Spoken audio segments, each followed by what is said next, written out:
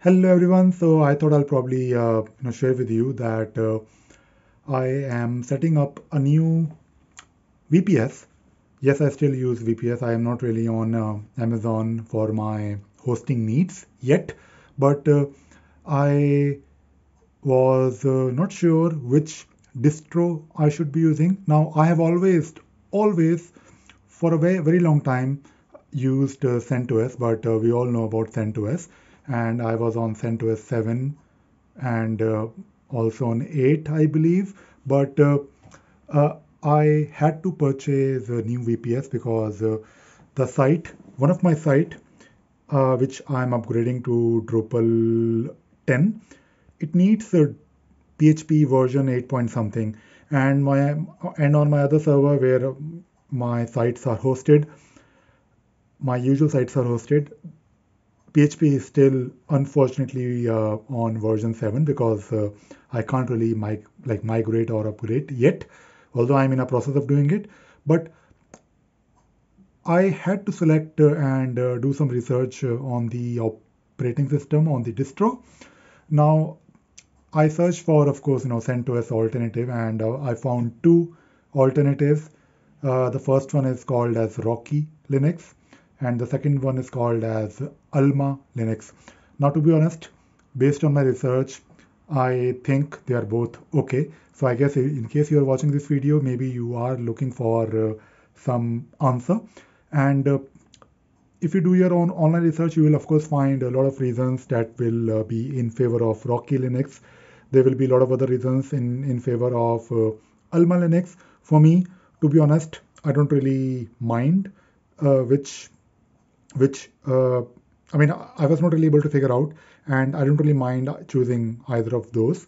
So I decided to pick Alma Linux, Alma, Alma, Alma. I don't know how to pronounce it, but uh, uh, I've been using it since uh, this morning because I was setting up my server. I was installing LAMP.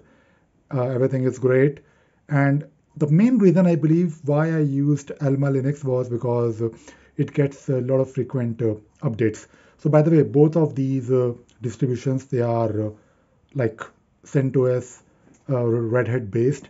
So you will not really have any problems with the, you know, issues that you might face. You, you can, of course, ask questions. You can search on Google. You can search on Stack Overflow.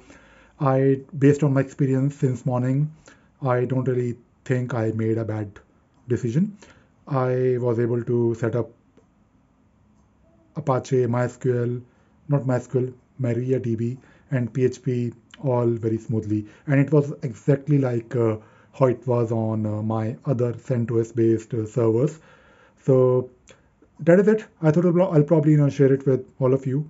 And in case, let us say things go wrong. Let us say today if you select Alma Linux or Rocky Linux, and after six months or two years you have to make a switch it's not a big deal, right? I think uh, switching a server is not really uh, a major concern because it is not that complicated, right? And uh, of course, if you have your backups, if you are uh, uh, good in system admin stuff, you can always migrate to another server. So maybe after three months or four months, if I have to switch to Rocky Linux, I can.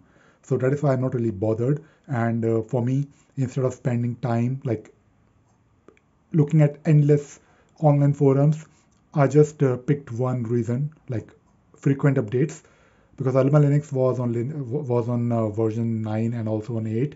Rocky Linux was on 8. I, I, I don't know the, the, exact difference, but uh, I was able to figure out that Alma Linux gets frequent updates, and that is why I thought, okay, let us pick it up. Alright, that is it for today's video. I hope you enjoyed watching this video and you learned something new. Thank you very much. Bye bye.